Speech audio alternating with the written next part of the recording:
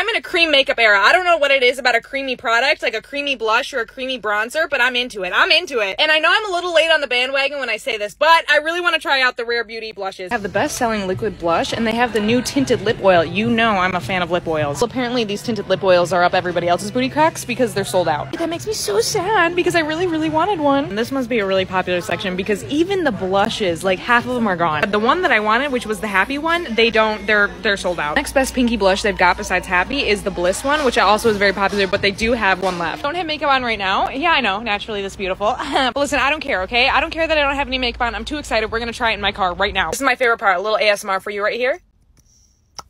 Oh, I know you're only supposed to take a little bit because it's very, very like pigmenty. Oh, oh, even that might have been too much. Oh no, oh no. It's fine, we'll just blend it, even though it looks like I took a pink highlighter straight to my cheeks. It does look good though. I mean, imagine, imagine me like all dolled up with this stuff on. Oh, a winner.